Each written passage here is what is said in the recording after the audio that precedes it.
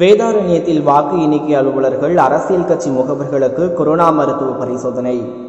நாகை மாவட்டம் வேதாரண்யம் வட்டாட்சியர் அலுவலகத்தில் வருகின்ற இரண்டாம் தேதி நடைபெறவுள்ள சட்டமன்ற தேர்தல் வாக்கு எண்ணிக்கையில் ஈடுபடும் அரசு அலுவலர்கள் அரசியல் கட்சி முகவர்களுக்கு கொரோனா மருத்துவ பரிசோதனை நடைபெற்றது.